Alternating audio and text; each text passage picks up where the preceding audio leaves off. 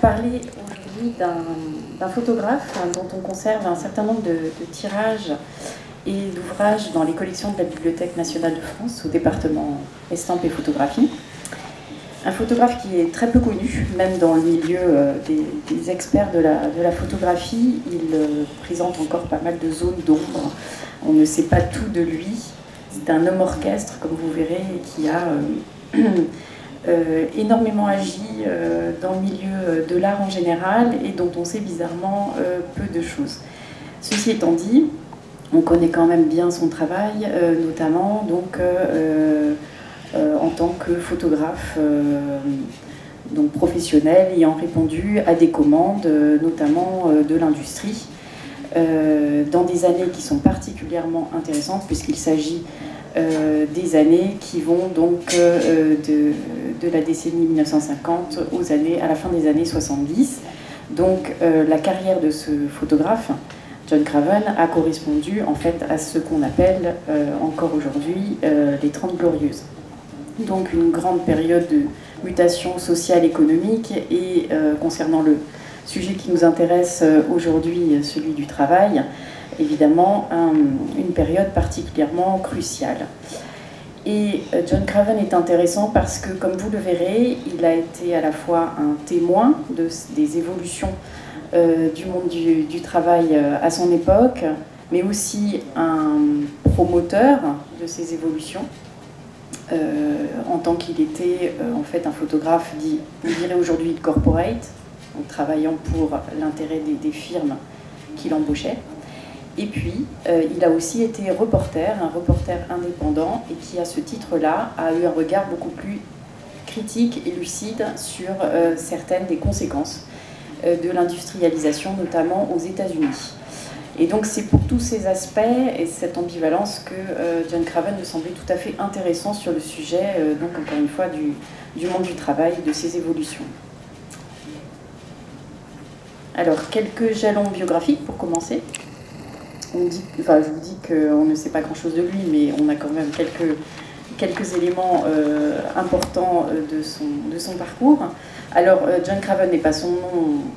Son nom d'origine, c'est Louis Comte. C'est un Provençal qui est né en 1912 et qui s'est formé au journalisme et au cinéma dans les années 30 aux États-Unis.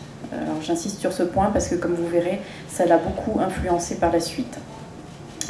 Euh, pendant la guerre, il, euh, est résistant euh, à Londres et c'est là qu'il prend le nom de John Craven, qu'il va conserver par la suite pour toute la partie professionnelle de, sa vie. Et cette carrière professionnelle, il va la mener à partir des années 50 dans deux domaines parallèles qui se combinent aussi, enfin qui s'entrecroisent. Qui D'une part, la photographie, donc à titre professionnel, et là, donc, il va répondre à de nombreuses commandes euh, de la part, encore une fois, des, firmes de l'industrie, mais vous verrez aussi euh, du domaine du tertiaire. Et puis, euh, à partir des années 50 aussi, il, il, se fait promoteur d'art et galeriste, et il va tenir un certain nombre de galeries successives sur la place de Paris, jusqu'à la fin des années 70. Euh, et, dans ces galeries, il ne promeut, ne promeut non pas la photographie, mais plutôt euh, donc la, sculpture et surtout la peinture euh, moderne et contemporaine. Voilà. Et par ailleurs, on peut signaler aussi qu'il a été commissaire d'exposition, et notamment d'une grande exposition en Avignon en 1969. Une exposition qui a fait date puisqu'elle présentait des photographies sous la forme de projections de diapositives. Et vous verrez que ça aussi, c'est tout à fait euh, important dans la façon dont euh, John Craven se représente le rôle du photographe et euh, la, vision qu'il faut avoir donc, par rapport à, son, à son temps et à, à, son, à son époque. Alors, donc, pour euh, en revenir à sa partie, euh, enfin, à la partie reportage commandité euh, du travail de John Craven, donc comme je vous disais, il a travaillé beaucoup pour l'industrie. alors, l'industrie lourde, principalement. l'industrie pétrolière avec BP, toutes les raffineries de, France, l'industrie gazière également, pour Gaz de France, qui était un, de, ses, un de ses grands clients. l'industrie métallurgique avec Péchinet, j'y reviendrai, et puis l'industrie, donc tout, ce qui concernait l'extraction minière, euh, avec pour principal euh, client euh, les charbonnages de France. Donc vous pouvez voir là à droite une, justement une, une affiche qui a été composée par les charbonnages de France à partir d'une photographie prise par, par John Craven d'un mineur au fond de la mine. Comme le disait John Craven lui-même, il n'hésitait pas à descendre au charbon. Euh, il le faisait dès que nécessaire. Et euh, à cette occasion, il prenait donc euh, des photographies des, des travailleurs à l'ouvrage dans des conditions dont on devine qu'elles étaient compliquées à la fois pour les travailleurs eux-mêmes, mais aussi pour le, photographe avec tout son dispositif, notamment de prise de vue et d'éclairage. Voilà, donc ça c'est. Ah oui, et euh, par ailleurs, donc, John Craven euh, donc, faisait des photographies, euh, donc des portraits principalement hein, en ce qui concerne l'industrie minière, mais il composait aussi ses légendes, les légendes de ses photos, et il lui arrivait aussi d'écrire des textes. Donc ça c'est la partie journalistique de son, de son travail. Et, et en 1953, il signe notamment un un article qui est absolument promotionnel hein, dans son principe, euh, qu'il intitule Le charbon, ami public numéro 1. Donc là, on voit vraiment qu'il fait œuvre en fait de publicitaire. Alors, sa façon de représenter les mineurs est tout à fait, enfin, classique, euh, dans la mesure où elle, euh, elle s'inscrit dans une, dans une lignée déjà un peu ancienne qu'on peut faire remonter pour la photographie aux, années 30. Donc c'est une, veine humaniste qui insiste sur la, figure même du, travailleur, une figure marquée euh, par son labeur, notamment avec donc, chez le mineur ce, masque noirci tout à fait emblématique et dramatique avec les, yeux qui, ressortent, le, ce regard très particulier euh, en contraste hein, euh, et, cet équipement euh, qui, lui est propre et qui le rend parfaitement reconnaissable avec ses, casques avec casque à, lampe frontale.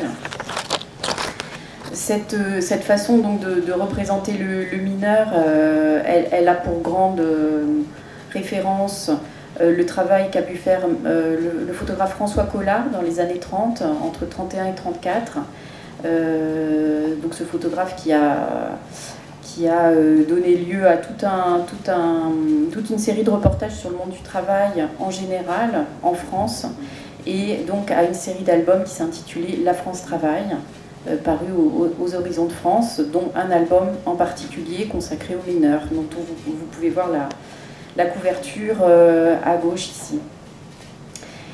Et cette façon de, mettre l'accent sur la figure du mineur pour évoquer l'industrie de, l'extraction, elle se poursuit après-guerre. Hein.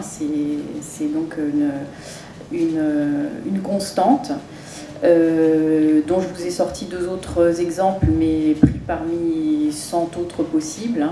Euh, au centre un photomontage de Jean Michaud tiré d'une série qui s'intitulait euh, Les serviteurs anonymes, donc ici le mineur en l'occurrence.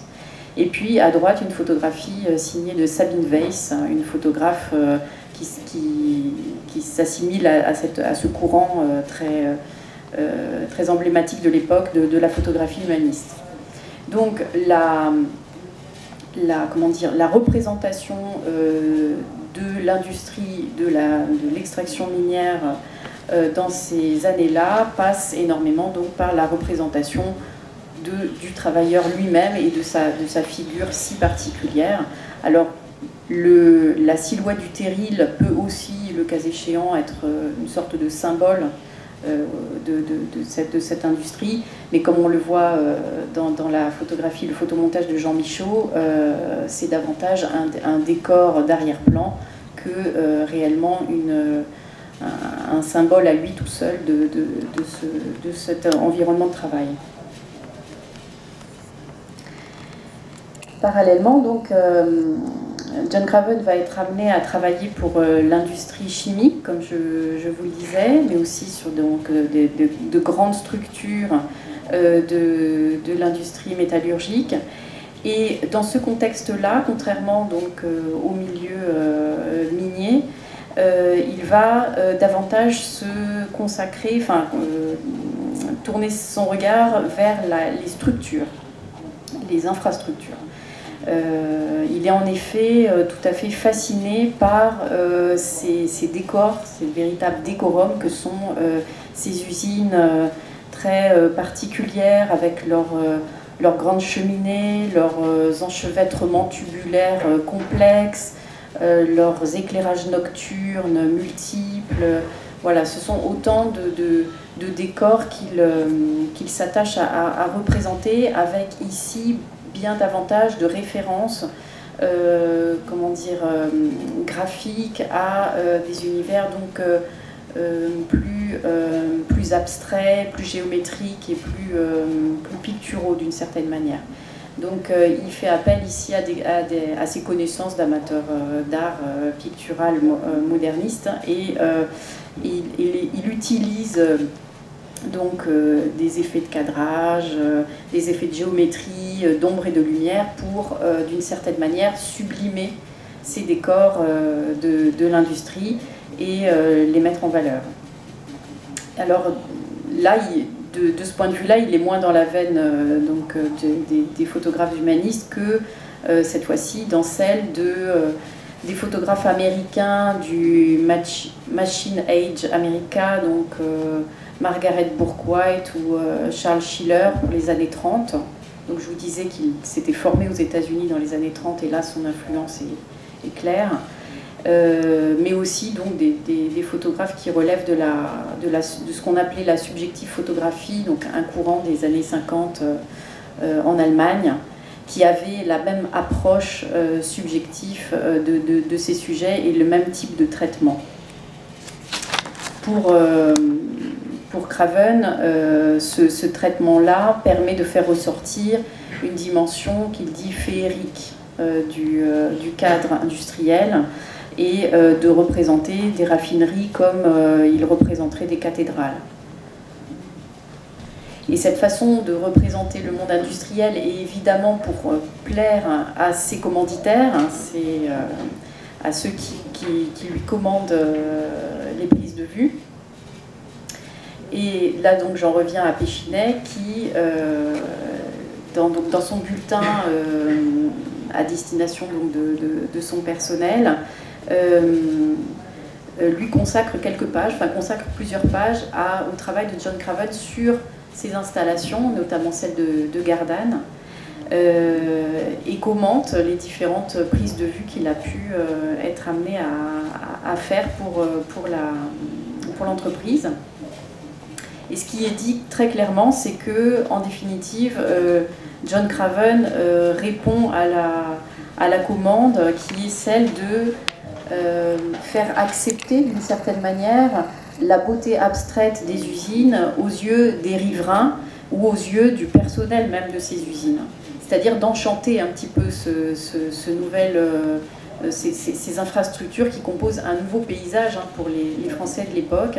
Et il s'agit là donc bien euh, pour le photographe et pour l'artiste en général de, de, magnifier de sublimer ce, nouveau paysage.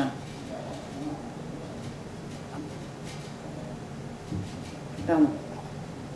Et dans ce contexte-là, donc ce contexte industriel, donc encore une fois des, euh, industries euh, gazières, euh, métallurgiques ou même encore des, grands chantiers qui hérissent euh, la France euh, de l'époque, euh, eh bien en fait la, place visuelle accordée à l'humain tente à disparaître. Donc là on s'éloigne aussi de ce que pouvait pratiquer John Craven dans le monde de la mine.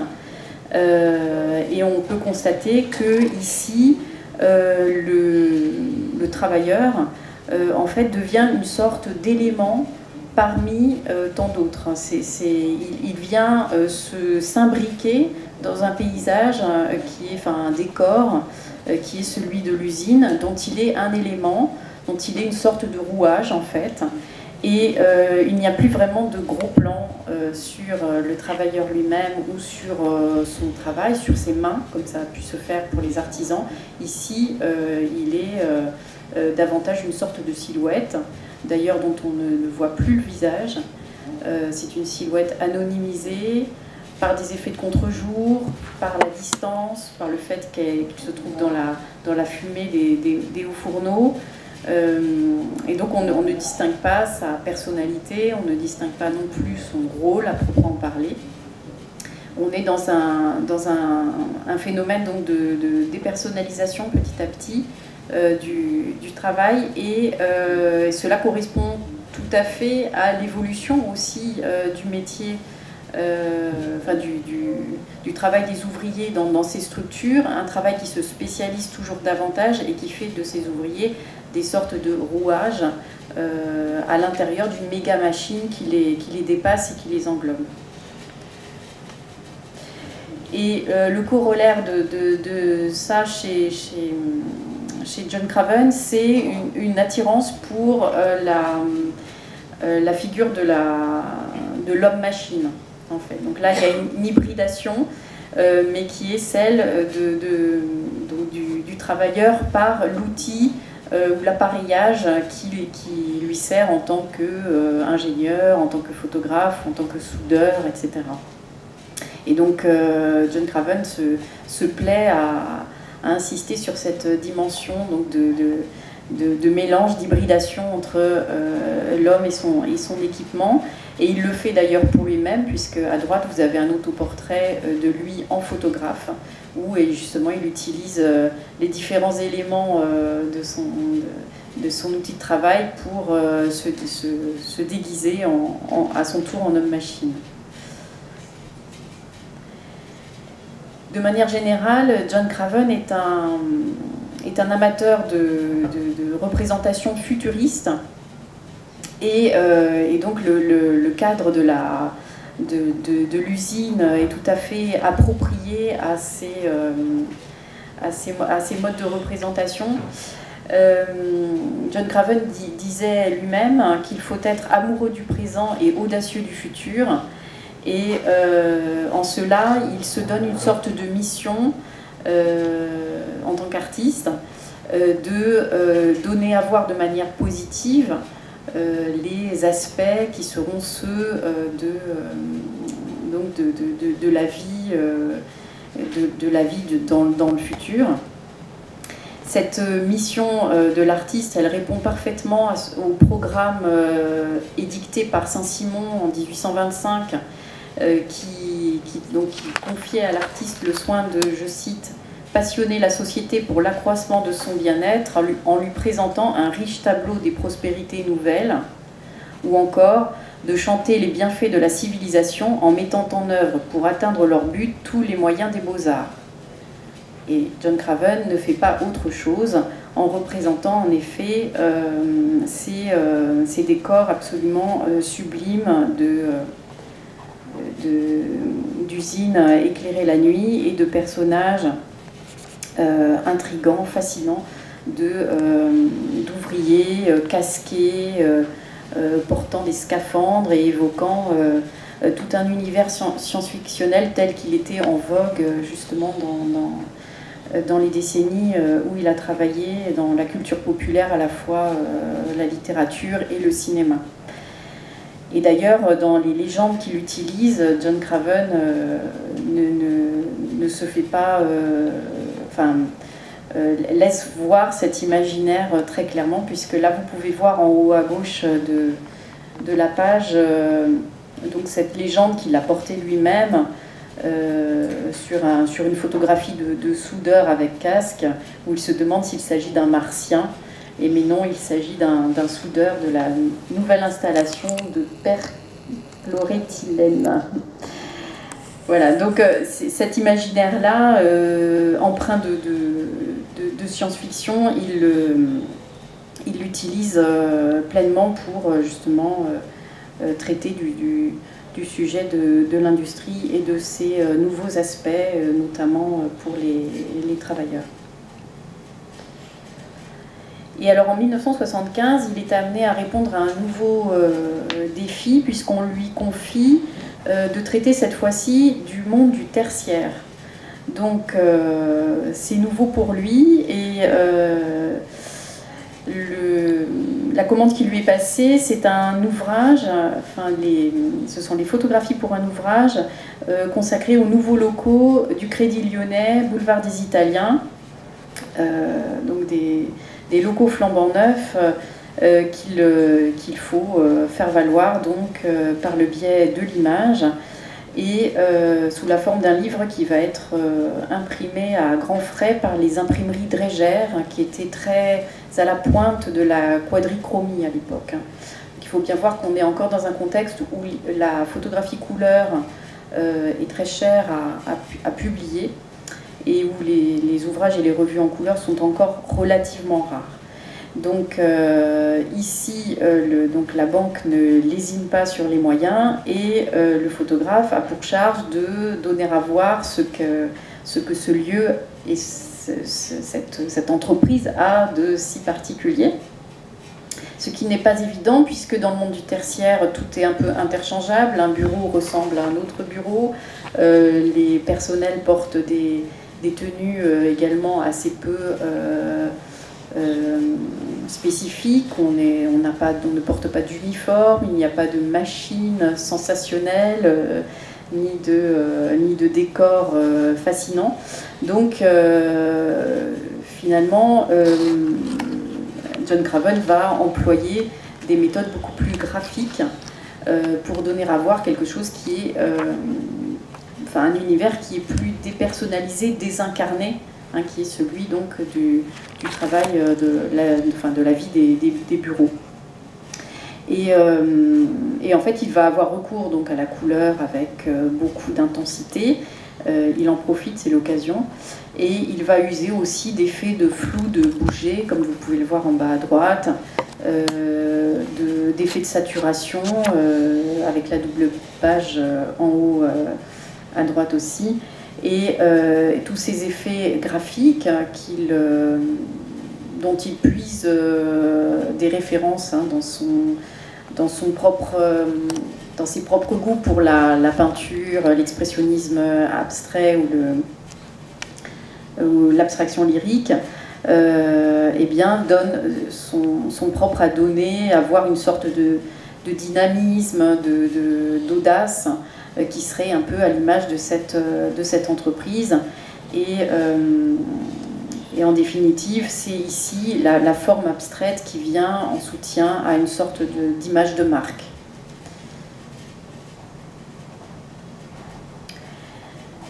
Donc voilà ce que John Craven peut faire quand il est, disons, un photographe répondant à des commandes alimentaires. Et et en tant que, donc, euh, photographe publicitaire. Et parallèlement, comme je vous le disais, il va porter un tout autre regard sur le monde du, du travail, sur l'industrialisation en tant que reporter. Reporter indépendant, puisque en 1963, il se lance dans un, ce dont il rêvait depuis longtemps, un grand reportage aux États-Unis, qui vont le conduire pendant 13 mois dans 37 États différents des États-Unis, pour aller euh, voir un peu tous les aspects euh, de la vie euh, des Américains et gratter sous le vernis de l'American Way of Life et du, mythe hollywoodien tel qu'il pouvait être véhiculé à l'époque et qui a tellement influencé la France dans ces années de, développement. Et donc ce, grand reportage de 1963 va donner lieu à un ouvrage 200 euh, millions d'Américains, qui sortira en 1967 après un énorme travail d'editing et, beaucoup de sacrifices financiers de la part du, photographe qui va devoir, enfin du galeriste là en l'occurrence, qui va devoir vendre des, des, tableaux de sa collection personnelle pour pouvoir euh, euh, finir ce, ce, livre. Un livre qui aura un grand succès en France, un grand succès public et également un succès critique indéniable. Euh, avec en 68 l'attribution du prix Nadar qui était attribué au meilleur livre de photos de l'année. Et euh, donc cet ouvrage est particulièrement intéressant pour le sujet qui, nous retient ici, qui est le, celui du monde du travail. Alors il n'aborde pas que cet aspect bien sûr, mais euh, à plusieurs reprises, des chapitres sont consacrés aux travailleurs américains dans différents domaines. Alors Craven n'échappe pas à la tentation d'aborder de, des des, chapitres plus euh, un peu anecdotiques, en tout cas très spécifiques, mais à, très forte valeur pittoresque. Alors il, en consacre un aux, ouvriers du vide, hein, c'est euh, les ouvriers du bâtiment qui travaillent en très grande hauteur à la construction des, buildings des, des, méga, des, mégalopolis, euh, ou alors au dernier, dernier cow-boy dans l'Ouest américain, et euh, dans les deux cas, on sent une très forte influence du cinéma, euh, soit dans, le les choix des, plans, pardon, euh, soit dans une sorte de, de, pittoresque comme ça du, du Lonesome Cowboy mis en scène de façon isolée avec tout, tout, la, tout l'attirail voilà, qui lui est propre et qu'on retrouve dans les westerns. Mais au-delà donc de ces, chapitres un petit peu, disons, clichés, euh, John Craven propose aussi euh, d'autres approches qui sont euh, autrement plus originales et, inattendues, justement concernant la, vie aux États-Unis dans cette époque de, plutôt de, développement. Hein. On n'est plus, on n'est pas dans la grande crise des années 30, hein. mais ce que Craven va voir et va donner à voir, c'est aussi tous ces laissés pour compte justement de, euh, de l'industrialisation de, tous les domaines de production et de, de, l'automation systématique euh, donc des, différentes activités. Et donc il, va euh, s'attarder comme ça sur des cas de figure, hein, des, personnes sur qui, ou des familles sur qui enfin, il prend le temps donc de, de s'attarder euh, par des séries de portraits et aussi par euh, des interviews et euh, de, la documentation, puisqu'il est aussi auteur des textes, hein, ce que j'ai oublié de vous, préciser. Donc ce, chapitre consacré aux oubliés du plan Marshall, avec des portraits donc, de, la famille Cornette dans les monts Appalaches, et voilà. Et là, je, vous montre euh, donc d'autres euh, photographies qui remontent aux années 30, puisque euh, on voit que John Craven, pour le coup, s'inscrit dans une lignée qui est davantage celle de Dorothea Lange ou de Walker Evans, ces photographes des années 30 qui avaient été amenés à mener une grande enquête sur les euh, laissés pour compte, euh, enfin les, les, les, personnes les plus touchées par la, Grande Dépression de 29 et qui donc avait répondu à cette commande de la Farm Security Administration dans un style à la fois humaniste mais également documentaire, sobre et, frontal, tout à fait typique et qu'on retrouve dans, dans, dans l'approche de John Craven. donc, 30 ans plus tard. Et puis un autre chapitre euh, tout à fait étonnant, euh, étonnant de, précocité d'acuité, euh, et tout à fait original dans son propos, qui, que John Craven consacre à la disparition des petits fermiers. Donc un sujet qui, qui absolument pas traité à l'époque, ni aux États-Unis, euh, ni, en France à ma connaissance, euh, et encore moins en, enfin en tout cas pas en photographie. Et, euh, là, John Craven se, documente énormément et il va aller rencontrer donc ces petits producteurs américains qui sont mis à mal par l'agro-industrie qui se met en place avec l'élevage intensif une surproduction laitière énorme qui fait chuter les prix et qui évidemment euh, force ces, euh, petits producteurs à la, faillite. dans son récit, John Craven explique que